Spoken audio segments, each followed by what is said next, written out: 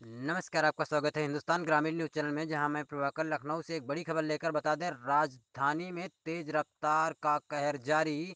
चौक क्षेत्र के over bridge पर हुआ भीषण हादसा चार पहिया वाहन ने मारी बाइक सवार को टक्कर। बाइक सवार गंभीर रूप से घायल कार सवार मौके से हुआ फरार। सूचना मिलते ही मौके पर पहुँची पुलिस। पुलिस ने घायल बाइक सवार को ट्रामा में कराया भर्ती हालत नाजुक। सूत्रों की माने तो राजनाथ सिंह का काफिला निकलने के बाद हुआ ये हादसा। चौक थाना क्षेत्र के ओवर ब्रिज की घटना। मनोज सोनवानी की रिपोर्ट, हिंदुस्तान ग्रामीण न्यूज़ चैनल।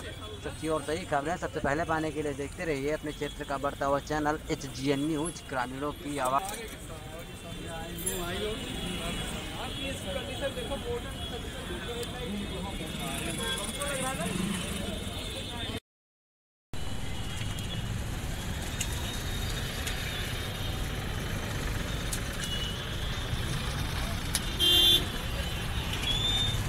आइयो आप ये कंडीशन